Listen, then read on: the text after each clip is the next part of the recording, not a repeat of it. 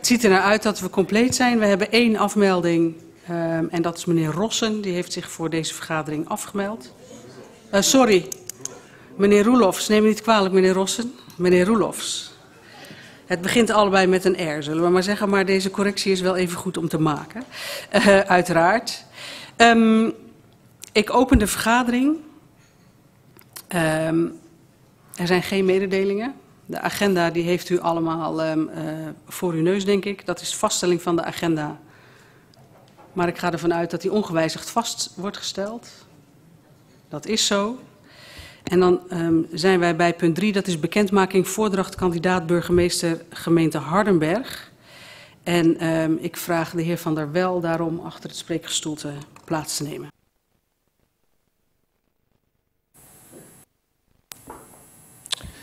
Ja, dank u wel, voorzitter.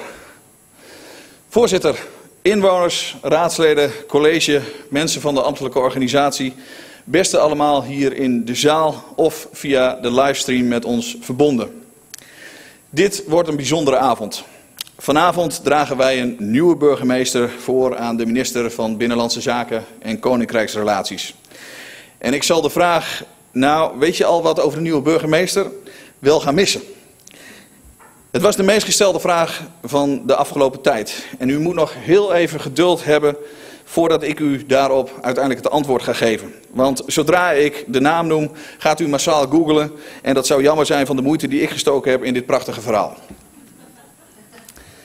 Hier staat een trotse voorzitter van de Vertrouwenscommissie. Aanvoerder van een topteam. Annie, Bert, Gijs, Ida, Chaco, Martijn, Rijn, Romano en Zaken, dank voor de geweldige samenwerking. Dit is echt een teamprestatie geweest. Iedereen met zijn of haar uh, kwaliteiten heeft een belangrijke bijdrage geleverd om tot een goede afweging te komen. Een afweging wie het meest geschikt zou zijn als nieuwe burgemeester van Hardenberg. En vol overtuiging kunnen wij bekendmaken dat we die gevonden denken te hebben. De profielschets is steeds de basis geweest om die afweging goed te kunnen maken. En die profielschets hebben we met elkaar geschreven. Met input uit de samenleving.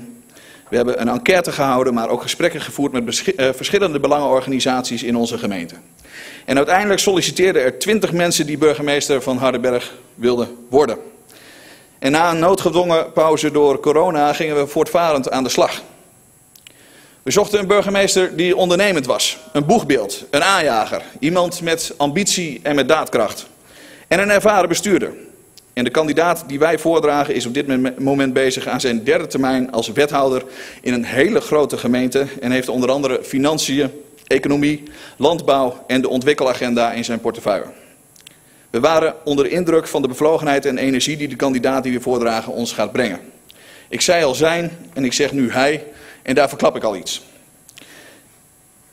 Hij heeft naast veel ervaring in het openbaar bestuur ook ervaring in het bedrijfsleven. Zo was hij onder andere de grondlegger en directeur bij een bedrijf dat diagnostische producten en systemen verkocht, waaronder de Legionella-chip. Door de juiste condities te creëren voor onderzoekers en medewerkers van onder andere TNO en Vitens konden er hoogwaardige en technologische producten worden ontwikkeld. En daarmee won het bedrijf in 2009 de Europese Urto Innovatieprijs. We zochten een ondernemende bestuurder. Een gemeentelijk boegbeeld op niveau die blijft sturen op inhoud en durft aan te jagen waar nodig. Deze kandidaat weet mensen aan zich te binden en te enthousiasmeren. Kan schakelen op alle niveaus, kan krachten bundelen en is een optimistische motivator. Hardenberg krijgt wat ons betreft weer een hele sterke burgemeester. Zoals gezegd, sinds 2011 wethouder in een grote gemeente namens het CDA. Een gemeente met 83 dorpen, 6 steden, een oppervlakte van 841,6 vierkante kilometer en bijna 90.000 inwoners. In onze profielschets schreven we: grote verscheidenheid is wat de gemeente Hardenberg kenmerkt en sterk maakt. In 29 kernen komen geavanceerde bedrijvigheid, goede voorzieningen, uitgestrekte bossen en weilanden samen. We zochten een burgemeester die daar goed mee om weet te gaan en die hebben we wat ons betreft gevonden. Jullie zijn hartstikke nieuwsgierig en dat snappen we. Maar toch eerst nog heel even het vervolg. Ik noem zo dadelijk de naam. Daarna wordt de voordracht aangeboden aan de minister van Binnenlandse Zaken en Koninkrijksrelaties. En de benoeming is pas definitief zodra het koninklijk besluit getekend is. De gemeenteraad van Hardenberg gaat ervan uit dat de, nieuwe burgemeester eind september in de gemeente Hardenberg aan de slag zal gaan. Ik mag u bekendmaken dat wij voordragen als nieuwe burgemeester van de gemeente Hardenberg de heer Maarten Offinga.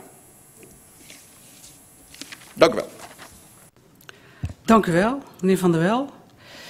Um, uh, de, als ik het goed begrepen heb, is de commissie hiermee ook van zijn taak ontheven. En het staat niet op de agenda, maar ik geloof toch dat een bedankje op zijn plaats is. Dus hartelijk dank.